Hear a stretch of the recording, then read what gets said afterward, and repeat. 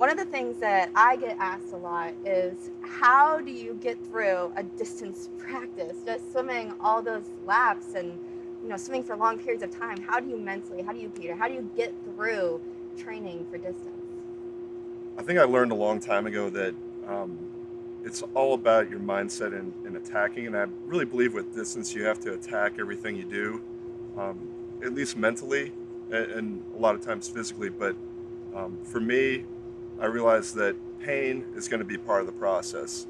And when you're going through a hard practice or, or something difficult and you're feeling that pain, I almost sometimes just smile about it because I know that this is the right thing. I'm doing it right. And so I just accept it as something that's going to happen. And if you can accept it, it makes it a lot easier to go to the pool every day and do it.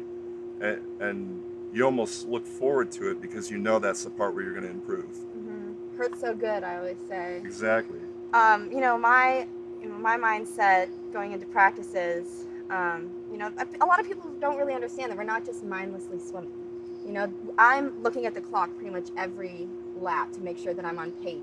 I'm thinking about what lap I'm on, what kind of pace I'm holding, my tempo, what my arms are doing. I'm constantly actively thinking about exactly what I'm doing. And, um, you know, it's sometimes, you know, swimming for long periods of time with that much intense focus can be challenging. But, um, but like you said, in the end, it's, I'm getting better because of this. And you do get kind of excited because when you have one of those practices where you just hurt. You just get to that point where you're like, I can't go anymore. And You know that you're improving and you're getting closer to that end goal that's at the end of the tunnel.